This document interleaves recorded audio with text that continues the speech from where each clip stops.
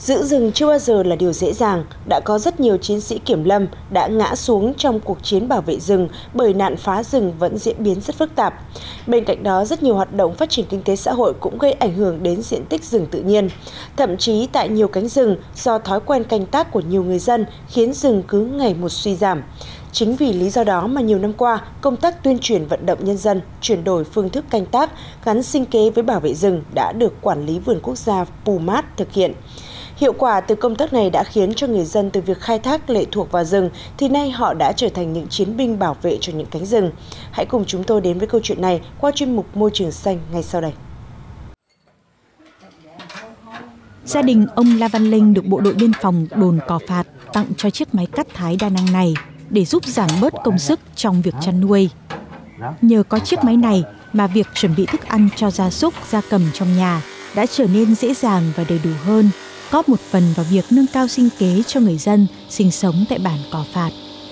Gia đình ông La Văn Linh chỉ là một trong nhiều hộ dân tộc Đan Lai đã nhiều đời sinh sống ở bản Cò Phạt này.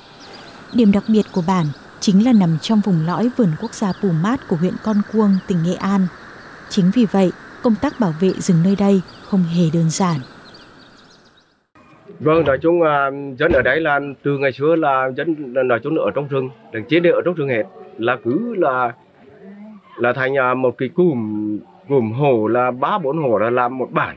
Là cứ ở thép khe là năm nay ở điểm này năm khác là ở điểm khác. Để để đi hái lườm là từng khu vực để ăn uh, sống hàng ngày đó. Chỉ bắt cá này là rồi nữa là là bắt uh, động vật để để sinh sống. Ngày xưa như thế. Nhìn vào những hình ảnh xây dựng này ít ai biết rằng người dân tộc Đan Lai đến cuối thế kỷ 20 vẫn còn sống dựa vào săn bắt, hái lượm các sản vật từ núi rừng. Việc tự trồng rau xanh, chăn nuôi gia súc, gia cầm để chăm lo cho bữa ăn hàng ngày vẫn còn là câu chuyện khá xa lạ.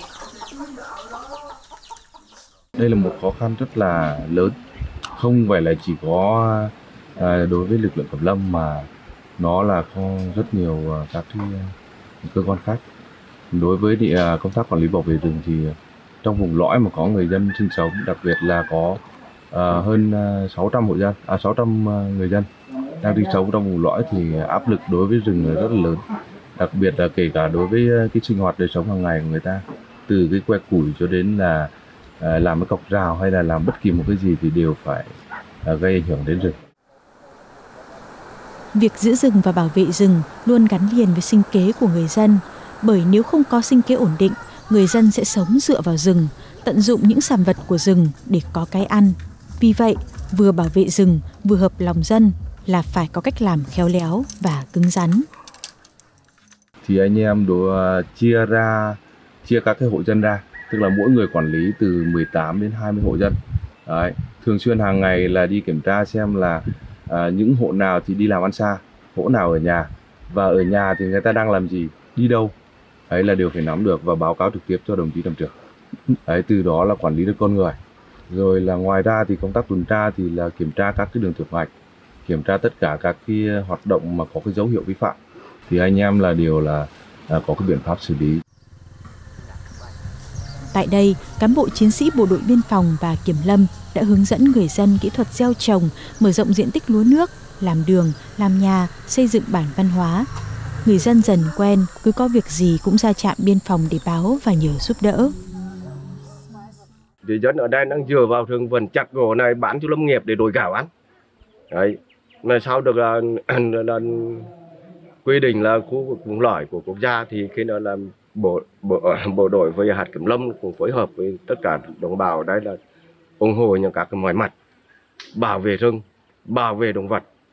Đấy cho nên hiện nay thì là cũng không có là dân là vào rừng để mà khai thác những các loại động vật rồi là khai thác những các gỗ rồi là nói chung mọi cái là quý cấm hết mà dân cùng đồng tình để bảo vệ rừng